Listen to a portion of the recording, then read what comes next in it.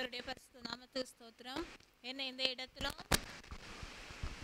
ஒரு சாட்சியாக நிறுத்தின என் தேவாதி தேவனை ஸ்தோத்தரிக்கிறேன். போன மாதம் வந்து முப்பதாம் தேதி நாங்கள் வீட்டுக்கூட்டம் முடிச்சிட்டு வரும்போது ஒரு காரை வந்து ஓவர்டேக் பண்ணி வந்தோம். அப்போ வந்து பக் பின்னாடி வந்த ஒரு பைக்குக்காரன் எங்கள் பைக்கை வந்து இடித்து ஒரு ட்ரைனேஜ் குண்டுக்குள்ளாடி போய் பைக் இடிச்சுது.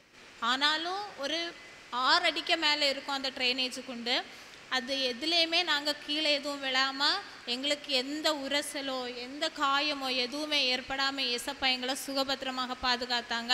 அதற்காக என் தேவாதி தேவனை ஸ்தோத்தரிக்கிறேன். அன்னைக்கு என் ஹஸ்பண்டுக்கு வந்து வேலைக்கு போகணும்.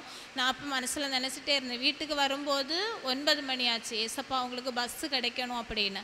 ஆனால் நாகர்கோயில் போய் லாஸ்ட்டு பஸ்ஸு கிடச்சி அன்னைக்கே வேலைக்கு போக ஏசப்பா கிருபை செய்தாங்க. அதற்காக என் தேவாதி தேவனை ஸ்தோத்தரிக்கிறேன். அதுக்கப்புறம் வந்து மூத்த மகை எப்போ அப்பப்போ வந்து வயறு வலிக்குதுன்னு சொல்லி அழுதுகிட்டே இருப்பாள் இப்போ ஒரு நாளைக்கு சின்ன பாஸ்டர் ஃபோன் பண்ணும்போது இந்த மாதிரி அவள் சொல்கிறா அப்படின்னு சொன்னேன். அப்போ அவங்க சொன்னாங்க சூட்டுனால இருக்கும் ப்ரேயர் பண்ணுவோம் அப்படின்னு. அதில் இருந்து அவள் இப்போ அந்த மாதிரி சொல்கிறதே இல்லை. எசப்பா அவளுக்கு அந்த வயத்து வழியிலேருந்து நல்ல சுகத்தை கொடுத்தாங்க. அப்புறம் சின்ன பாஸ்டர் ஒரு நாளைக்கு வீடு விசிட்டு வந்தப்போ பேசிகிட்டு இருக்கும்போது என்னோட மகனை பற்றி கேட்டாங்க. இப்போ நான் சொன்னேன் கொஞ்சம் குறும்பு அவன் அப்படின்னு. ஆனால் அவன் அந்த ஸ்கூல் தொடங்குனதுலேருந்து கொஞ்சம் நல்ல குறும்பு ஸ்கூல்ல எல்லாம் நல்ல டீச்சர்ஸு கீழ்ப்படியாமல் அப்படி நல்ல குறும்பு பண்ணிகிட்டு இருந்தான். அப்போ சரி ப்ரேயர் பண்ணுவோம் அப்படின்னு சொல்லிட்டு சொன்னாங்க. அப்போ நான் பாஸ்டரையும் பார்த்து சொன்னேன் அவன் நல்ல குறும்பு பண்ணுறான் பாஸ்டர் அப்படின்னு.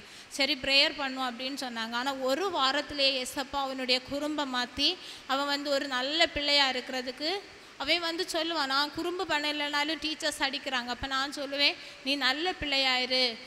நீ நல்ல பிள்ளையாக இருக்கும்போது அவங்க எதுவுமே பண்ண மாட்டாங்க. கொஞ்ச நாள் ஒன்று திட்டுவாங்க. அதுக்கப்புறம் அவங்க புரிஞ்சுக்குவாங்க அப்படின்னு.